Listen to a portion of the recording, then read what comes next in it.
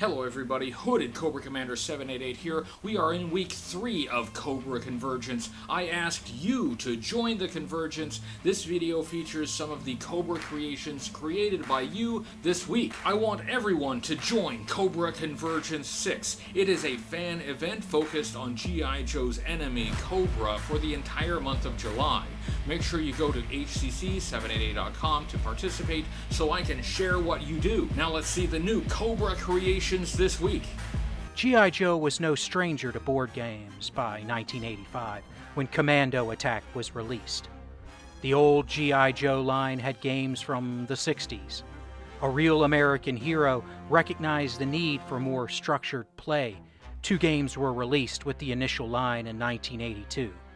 G.I. Joe, a real American hero adventure board game, and G.I. Joe Cobra Battle. I was far too young for these games, but by the time of Commando Attack, I was still a little too young.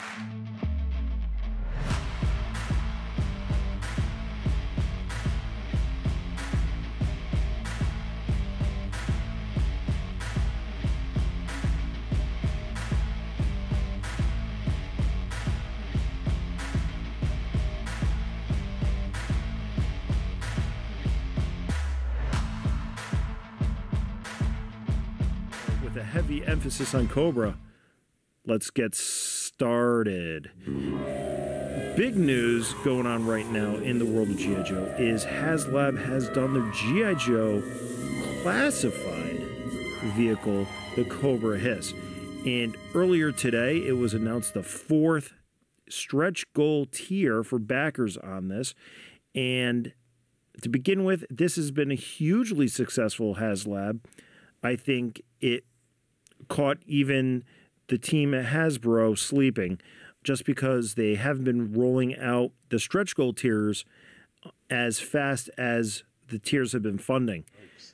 We it's started nice off with a He's cool. Great figure.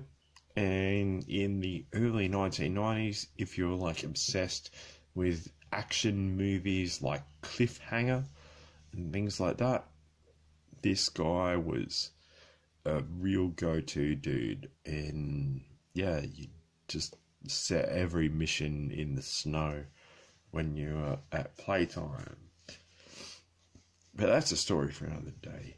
The story for today, of course, is that we've got Snow Serpent's file card. Now, I do believe there was. So I decided for Snow Convergence, I was going to talk about somebody that maybe somebody else wouldn't talk about, or at least not this version. So this is Serpentor version 3 from the Comic Packs in 2005. Now, Serpentor has got a pretty striking figure.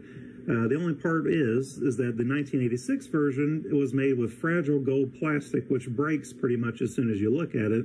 So Hasbro did a smart thing, and they re-released the figure in a green plastic, which does not break as nearly as much as the gold.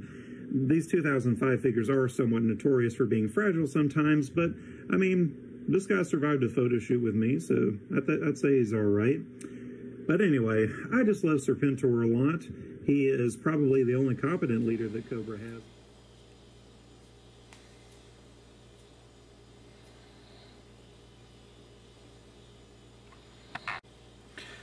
Hello, everybody. Sparkster1701 here.